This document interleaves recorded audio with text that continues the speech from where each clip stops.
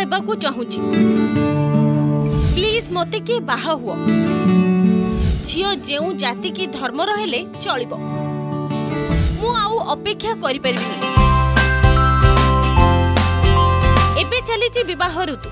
ଯେଉଁମାନେ ବାହା ହେଉଛନ୍ତି ତାଙ୍କୁ ଯଦି ଅବିବାହିତ ମାନେ ଦେଖନ୍ତି ତାହେଲେ ସତରେ ସେମାନଙ୍କ ମନରେ ନିଶ୍ଚିତ ଆସେ କାଶ ଏମିତି ମୁଁ ବି କାହାର ବର କି କନିଆ ସାଜନ୍ତି। କାରଣ ଆମ ଦେଶରେ ବିବାହର ଏକ ମହତ୍ଵ ରହିଛି। ପ୍ରତ୍ୟେକ ଝିଅ ଏବଂ ପୁଅ ବିବାହ କରିବାକୁ ବହୁତ ସ୍ୱପ୍ନ ଦେଖିଥାନ୍ତି।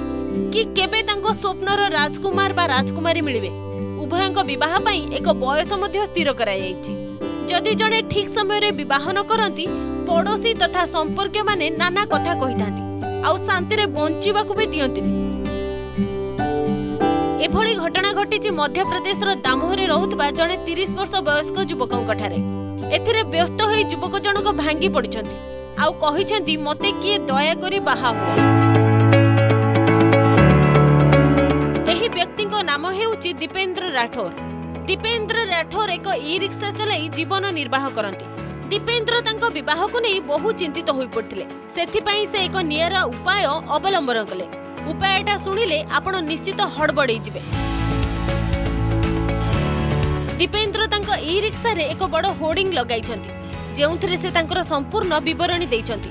ଏହି ହୋର୍ଡିଂରେ ସେ ଶିକ୍ଷାଗତ ଯୋଗ୍ୟତା ଉଚ୍ଚତା ବ୍ଲଡ ଗ୍ରୁପ ଇତ୍ୟାଦି ଲେଖିଛନ୍ତି। ସେ ଏହି ଇ ରିକ୍ସା ଦ୍ୱାରା ସହର ପରିକ୍ରମା କରୁଛନ୍ତି। ସେ ଯୁଆଡ଼େ ଯାଉଛନ୍ତି ଇ ରିକ୍ସାକୁ ସିଆଡ଼େ ନେଉଛନ୍ତି। ଲୋକମାନେ ତାଙ୍କ ହୋର୍ଡିଂ ଦେଖି କ'ଣ ଲେଖା ହୋଇଛି ବୋଲି ପଢ଼ି ପକାଉଛନ୍ତି। ଏଭଳି ଲେଖା ଦେଖି ଦୀପେନ୍ଦ୍ରଙ୍କ ଚର୍ଚ୍ଚା ସବୁଠି।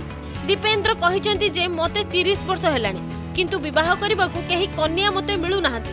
ମୁଁ କ'ଣ କରିବି? ଏଇ ବୟସରେ ବିବାହ ନ କଲେ ଆଉ କେବେ କରିବି କେବେ ମୋତେ ମୋ ମନ ଲେଖି ଝିଅ ମିଳିବ ମୁଁ ବୁଝିପାରୁନି ନା ଗର୍ଲଫ୍ରେଣ୍ଡ ମିଳୁଛି ନା କାହାକୁ ମୁଁ ଭଲ ପାଇପାରୁଛି ଆଉ ହଁ ସେ ହୋର୍ଡିଂରେ ଆଉ ଏକ କଥା ବି ଲେଖିଛନ୍ତି ମୋତେ ବିବାହ କରିବାକୁ ଝିଅ ଯେଉଁ ଜାତିର କି ଯେଉଁ ଧର୍ମର ହୋଇଥାନ୍ତୁ ସବୁ ଚଳିବ ମୋ ପାଖକୁ ବିବାହ ପ୍ରସ୍ତାବ ନେଇ ଆସିପାରିବେ ଦୀପେନ୍ଦ୍ରଙ୍କ ପରିବାର ଲୋକ ତାଙ୍କ ପାଇଁ ବହୁବାର ପ୍ରସ୍ତାବ ଆଣିଛନ୍ତି କିନ୍ତୁ ସବୁଥର ତାଙ୍କର ବିବାହ ଭାଙ୍ଗି ଯାଇଛି ଲୋକଙ୍କ ଏଣୁତେଣୁ କଥା ଶୁଣି ସେ ପୁରା ଡିପ୍ରେସ୍ ହୋଇଯାଇଥିଲେ ଆଉ ଏଥିରୁ ବଞ୍ଚିବାକୁ ସେ ଏଭଳି ନିଆରା ପ୍ରୟାସ କରିଛନ୍ତି ବ୍ୟୁରୋ ରିପୋର୍ଟ ଅର୍ଗସ୍ ଡିଜିଟାଲ ଯଦି ଆପଣଙ୍କୁ ଆମ ଭିଡ଼ିଓଟି ଭଲ ଲାଗିଲା ତେବେ ଆମ ଚ୍ୟାନେଲକୁ ଲାଇକ୍ ସେୟାର ଆଉ ସବସ୍କ୍ରାଇବ୍ କରିବାକୁ ଜମା ବି ଭୁଲନ୍ତୁ ନାହିଁ